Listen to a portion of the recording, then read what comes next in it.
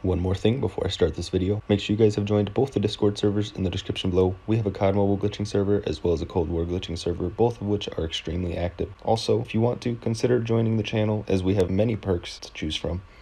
Alright, what is going on guys? Today I have another Call of Duty mobile glitch video for you. This time it is going to be on the best working shield turret secret room glitches that you can get into. Now this is completely separate from out of map glitches. I'm going to be making that in a different video. I'm going to be doing all of the best working out of map glitches with this method, but um for this video you guys are seeing the best working OP and invincibility secret room type glitches with this. Um ton of them on every single map. I couldn't put them all in here so I just kind of did the best of series type with this. Um but I hope you guys do go on to enjoy this video. I'm not going to talk throughout the whole thing. The terminal one I kind of did mess up with as well as the raid one, but you can get into both of those secret rooms and vibe in there. I'm just a fool and I messed up, but thank you guys so much for clicking on this video, watching this video. Drop a like and subscribe if you're new. Join the Discord servers. We have the number one COD mobile glitching server around, and yeah, I'll see you in the next one.